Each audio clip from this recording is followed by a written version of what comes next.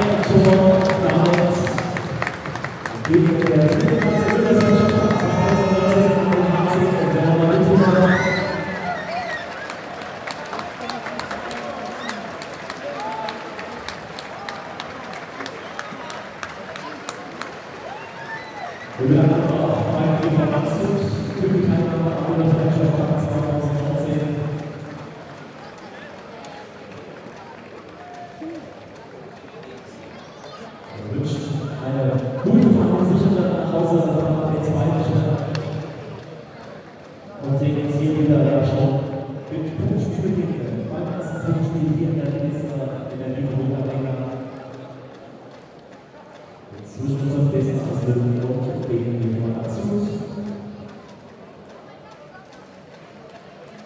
Wir wünschen auch noch Kanzler Lindhoff und gute Einfahrt zurück nach Tschechien. Eine gute Konferenz zur Saison.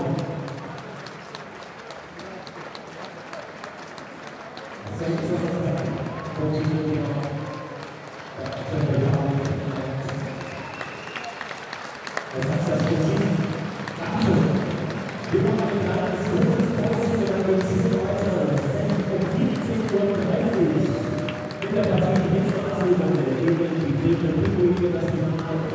Ja, heute ist Max Brandl bei mir. Erstmal vielen Dank, dass ihr teilgenommen habt. Und ähm, wie ist es für dich jetzt? Du hast dich gestern im Dresdner Spiel verletzt. Wie ist es für dich jetzt zuzuschauen und die Mannschaft jetzt nicht unterstützen zu können? Ja gut, ich meine, es ist nie so schön, wenn man zuschauen muss und man natürlich nicht mitwirken kann. Aber ich muss sagen, die Jungs haben heute super gespielt. Ähm, es hat zwar am Ende nicht für einen Sieg gereicht, im Penaltyschießen leider verloren, aber war eine Leistungssteigerung gegenüber gestern und ich glaube, wir sind auf einem guten Weg in der Vorbereitung. Was war deiner Meinung nach die Schwachstelle? Ihr habt eigentlich das komplette Spiel geführt und dann das doch noch verloren habt? Ja gut, ich meine zum Schluss die Strafe war natürlich nicht optimal und dann muss man auch den äh, Tschechen muss man schon auch die Qualität, die kann man nicht aberkennen und dann war halt ein Spieler, der schießt vier Tore im Spiel und ähm, ja, das muss man auch anerkennen.